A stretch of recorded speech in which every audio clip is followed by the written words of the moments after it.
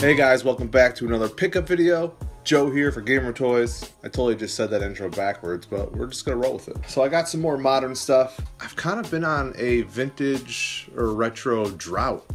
Um, I haven't been picking up a lot of stuff. I want to save a lot of that vintage toy hunting for the King County Toy Show coming up in October. So I've kind of been holding back on buying a lot of vintage stuff, but I mean, if I see it, I'm to grab it. So let's get into these modern pickups and take a look at what I grabbed. I really enjoyed Spider-Man Homecoming, so I kind of been buying some of the toys. I picked up the Spider-Man Homecoming Marvel Legends 4-inch 2-pack here with uh, the Vulture and Spider-Man. It's just a pretty cool set. This is what started it. I saw this at Target and I just picked it up because I thought it looked cool, and then that led to this and and uh, the six-inch Spider-Man figure, and you know it, it's it's all downhill from there. I'm a big fan of the Vulture. On the back, it's got a nice picture of the toys. There's a bio here, blah blah blah.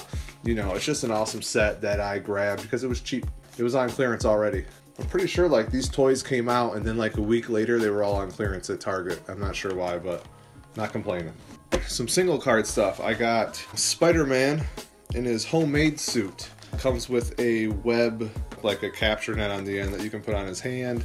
Picture of him on the back. I mean, the card's alright. It's nothing spectacular. You got a cool picture of Spider-Man. You got the movie logo. I liked in the movie how he kept his homemade suit underneath the lockers and he'd like run over and yeah, it was cool. Alright, let's just continue with Spider-Man. We got Spider-Man in his uh in the normal Spider-Man suit that Tony Stark made for him. You know that part in the movie when Spider-Man used a giant arm launcher and shout out a uh, giant blue missile? Yeah, that part was cool. And that brings us to the Vulture. I love this figure. I love this character. There was just, I love the whole idea that with this movie, they really kept it local the first Marvel villain who wasn't like trying to take over the world, you know? He was just trying to make some money to support his family. And I like that he was just a really localized villain. There wasn't a big plot, or I should say, not plot, but there wasn't a huge scheme of him trying to take over the world. He's just trying to make some money the only way that he thought he could. It's an awesome design. I love the costume.